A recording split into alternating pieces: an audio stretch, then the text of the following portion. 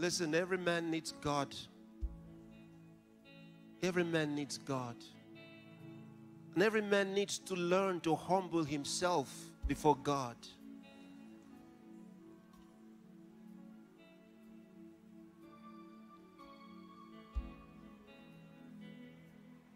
I didn't come to you in my own name. No, I came to you in the name of Jesus Christ. So I, I brought you his message and his love. And it's all about helping you.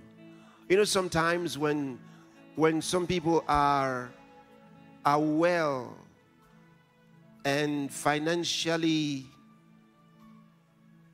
buoyant and they have friends in powerful and influential positions, they think they don't need God because they have everything that they could wish for. In fact, more than they ever wished for. They have money, they live in nice places, they have everything that money could buy, they have friends, they have all that. So, at that position, that exalted position, they look at everybody else with disdain. They have no respect for anybody else. It's, it's normal with people who don't know God to think like that. But let me tell you, human success is for a short time. You were not where you are today before. There was a time you were not where you are today. You were in another position. Somebody else was in the position where you are today.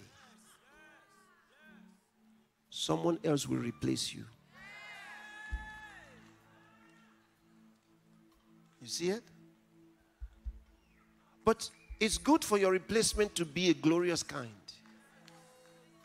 The way to make it a glorious kind is honor the Lord that gave you the opportunity, that brought you to where you got to.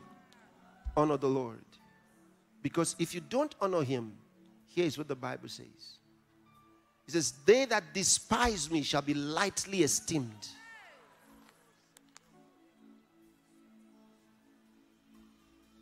So honor the Lord so that your life will be upward only. Upward and forward only. He's the only one that can do that for you. Man can't do it for you. Not even government. There's no government administration that is permanent. None is permanent. Not one. Not one. Not one. Not one. Malikorasia, Balakila Kos, Dela Alagias. Not one. Bera Liva, Aragroste, Alagastes. Don't worry about the things I just said. I'm sending words to some places. That's what I just did. I sent some words to some places. I'll tell you about them later, another time. But right now, in Jesus' name, hallelujah, I thank God for your family. I thank God for your family. I thank God for your family. I thank